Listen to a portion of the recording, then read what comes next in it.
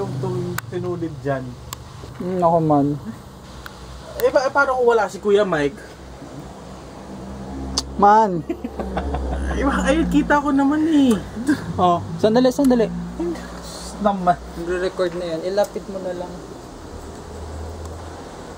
Kuya Mike, dahan-dahan lang ha. Hmm. Isipin mo hindi masakit. aray! Isipin mo hindi Bakit masakit. hinihila mo?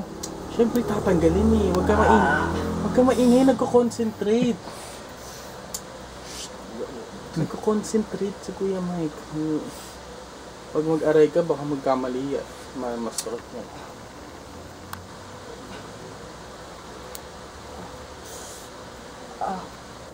Grabe naman, ganun ba talaga kasakit? Sumigaw ka lang sa isip mo. Yung ba, Hindi pa nga naghihilom yung sugat. Ba't malamig? Malamig eh kasi. May alcohol eh. Ang ganda nga, hindi mainit eh. Hindi ka napasok.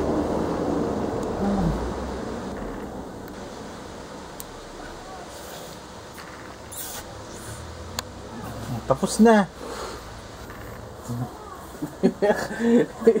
Gumugo. Hindi ah.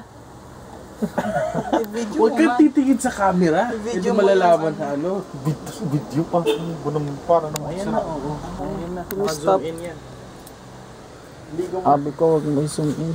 Kaya mo na Oo gawin. naman, dali-dali daw. Ibalik mo, tatanggalin ko. Talaga lang ha. Mo para naman to. I-close up mo nga man. Ano? Huwag mo i-zoom in, ilapit mo lang. Malinaw, malabo. Babay na.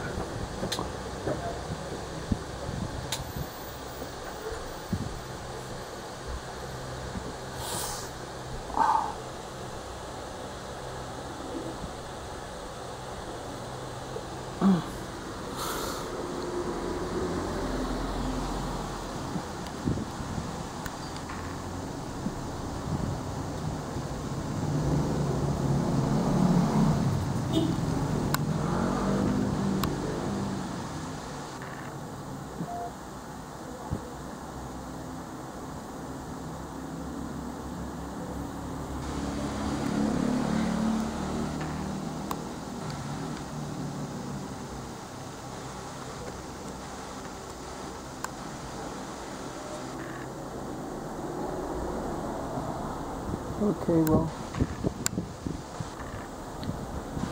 I have nothing else to say.